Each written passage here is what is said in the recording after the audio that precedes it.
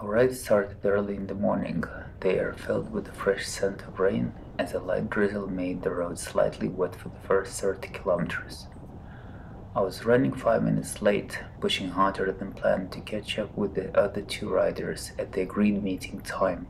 The gentle uphill stretch demanded more effort than expected for such an early hour, a small price to pay for my tardiness.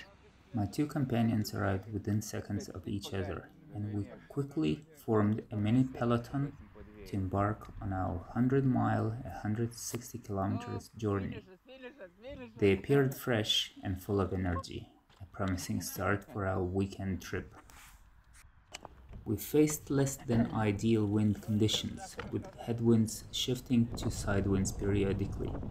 We anticipated a total ride time of around 5 to 6 hours as we weren't aiming to push ourselves to the limit. After all, it was a coffee ride, not a race or a workout. The wet patches on the roadside were unwelcome on our road bikes, but spotting gaps in the clouds in the distance lifted our spirits. Just over half an hour into the ride, the road dried up as the rain clouds drifted behind us. Our planned route followed the 85 year old highway, winding through multiple small towns, each offering picturesque views of the landscape and charming architecture of cozy villages. Occasionally, our old road met the new modern highway on our right, highlighting a stark contrast between the two. The new highway buzzed with cars and trucks zooming by at high speeds, while our historic route remained tranquil with only a few drivers uninterested in speeding. With a low speed limit and a birch tree alley lining our path, the white road bike and white socks danced to the rhythm of the ride. As we rode, motorcyclists on old World War II motorcycles came from the opposite direction, cheerfully waving at us. Their vintage bikes added a nostalgic charm to our journey, bridging the past and the present. With polite drivers along the route, our ride felt even more special. One driver, in particular, slowed down and came to a complete stop just to let us pass, even though he had the right of way. We had to make a few quick pit stops along the way, but the sky was getting clearer with each passing mile.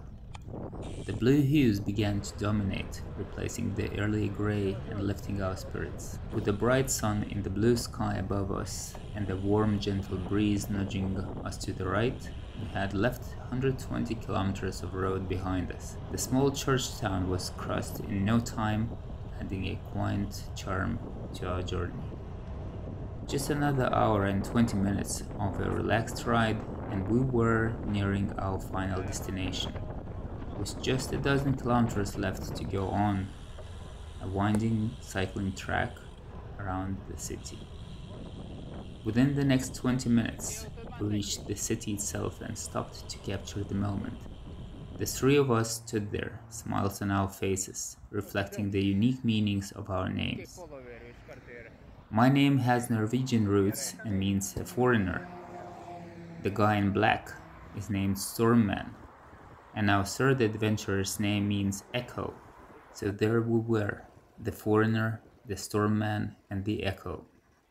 It sounds like the beginning of an epic tale or perhaps a quirky superhero team.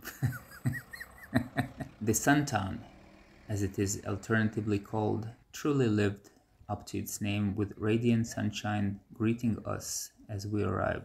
Another ray of sunshine met the three superheroes as we paused at a crosswalk. Standing beside her bright white folding bike, she smiled at us. The cheerful atmosphere of the town was palpable, reflected in the vibrant greenery and the bustling yet relaxed streets. My wife joined us, adding more joy to the ride. We continued our exploration and came across another intriguing sight a massive steel fox statue standing proudly by the water. This modern artwork invites visitors to stop and admire such craftsmanship. To celebrate such a wonderful day, we went to a local restaurant to taste some local food. The flavors were rich and authentic, perfectly capping off our memorable journey through city. After a quick lunch, we went out into the city in search of an extraordinary coffee, which has become a ritual to enjoy in some amazing place, our coffee quest. We spotted one and immediately stopped there. Mint tea, a ginger oat cookie, a golden teaspoon, and an elegant cup of tea and coffee.